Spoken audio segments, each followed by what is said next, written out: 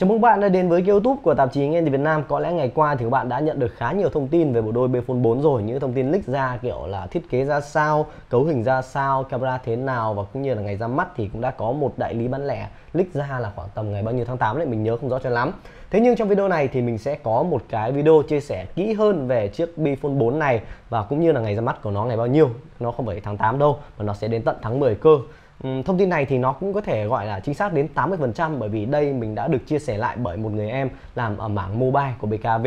và cụ thể Bifone 4 sẽ như thế nào thì bây giờ chúng ta sẽ cùng nhau chia sẻ kỹ hơn nhé.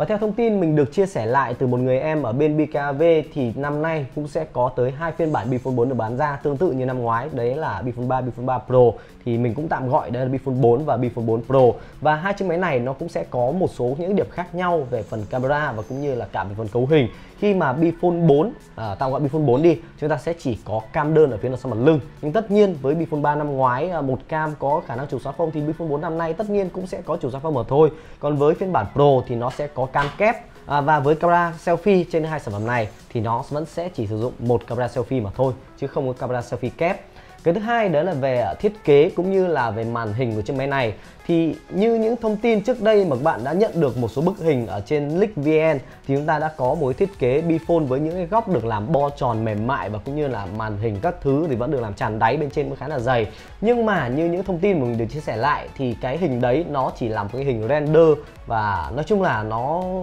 làm cho chúng ta có một cái gì đó nó lệch hướng đi, nó một có có một cái hướng gì đó lệch lạc so với cái thiết kế của Bphone 4 và Bphone 4 năm nay. Bởi vì là người em của mình chia sẻ lại thì Bphone 4 và 4 Pro năm nay á nó vẫn sẽ chỉ sử dụng một cái thiết kế tương tự như Bphone 3 và 3 Pro năm ngoái mà thôi. Từ những phần góc bên trên vẫn sẽ được làm vuông vuông và chúng ta cũng sẽ có cái phần viền được làm bo cong, nhưng mà nó cũng sẽ có một cái điểm cải tiến hơn bộ đôi Bphone 3 và 3 Pro năm ngoái đấy là ở phần đỉnh bên trên. Nó đã được làm mỏng hơn để cho chiếc máy có một cái à, kích thước về chiều dài nó ngắn hơn một chút để dễ dàng đút túi hơn. Mặc dù là nó có thể nó sẽ không ngắn hơn nhiều nhưng mà rõ ràng nữa thì nó cũng sẽ là một cái điểm để so sánh khác biệt với bộ đôi của năm ngoái. À, có một điểm mà có lẽ là có nhiều thông tin dò dỉ là nào là Bphone 3, à, Bphone 4 và 4 Pro năm nay sẽ có kiểu màn hình thiết kế đục lỗ và cũng như là có phần vân tay bên trong màn hình. Thì ờ, bạn này cũng đã xác nhận đấy là sẽ không có điều đó. Bởi vì là mặt lưng của Bphone 4 hiện nay thì cũng đã được thiết kế rồi và vẫn có vân tay nằm ở phía sau mặt lưng. Cùng với đấy thì màn hình như mình đã chia sẻ màn hình vẫn sẽ là màn hình tràn đáy và bên trên vẫn sẽ có một điểm dày để có thể đặt camera selfie. Tất nhiên như vậy thì chúng ta sẽ không có màn hình đục lỗ mà vẫn sẽ là một cái màn hình thiết kế tràn đáy tương tự như Bphone 3 và 3 Pro. À, và tất nhiên thì uh,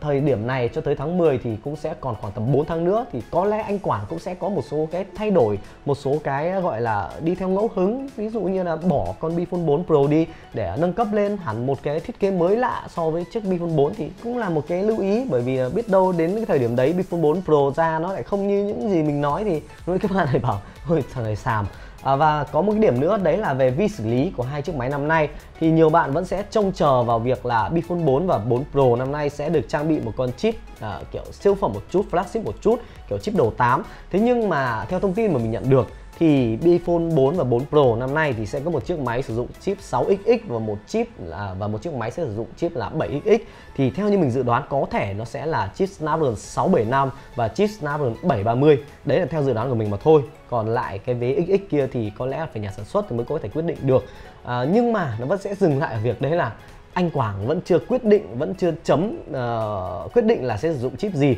Nên là chúng ta vẫn sẽ phải chờ đợi à, biết đâu sẽ có một phiên bản chạy chip 8XX nữa để cho anh em có thể mong chờ. Còn về mức giá thì à, mình vẫn chưa được tiết lộ thế nên rằng là mình cũng sẽ không thể nào chia sẻ đến các bạn về mức giá được. Nhưng mà dẫu sao gì nữa thì chúng ta vẫn sẽ có một cái điều mong chờ đấy là mức giá càng rẻ càng tốt. Bởi vì là Bphone 3 và 3 Pro năm ngoái thì chúng ta đã có một mức giá tốt hơn so với thế hệ Bphone 2 thì cái điều mà chúng ta mong chờ là Bphone 4 và 4 Pro có một mức giá tốt hơn cả Bphone 3 và 3 Pro năm ngoái thì đấy cũng là một điều khá là bình thường đúng không? Và cuối cùng đấy là ngày ra mắt của bộ đôi Bphone 4 và 4 Pro. Đấy là chắc chắn vào ngày 10 tháng 10 của năm nay, tức là nó sẽ tương đương vào ngày ra mắt của bộ đôi Bphone 3 và 3 Pro năm ngoái.